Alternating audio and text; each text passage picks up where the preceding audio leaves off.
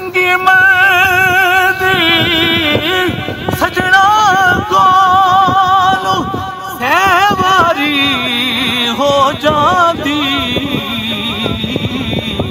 ਪਰ ਯਾਰ ਯਾਰਾਂ ਦਾ ਗਿਲਾ ਨਹੀਂ ਕਰਦੇ। ਅਸਲ ਪਰੀਤ ਜਿਨਾ ਅਦੀ